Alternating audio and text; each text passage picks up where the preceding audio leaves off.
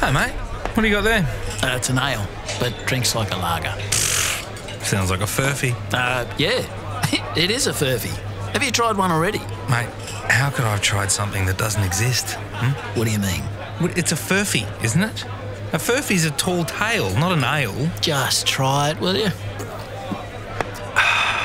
Now that's a beer. No, it's a furphy.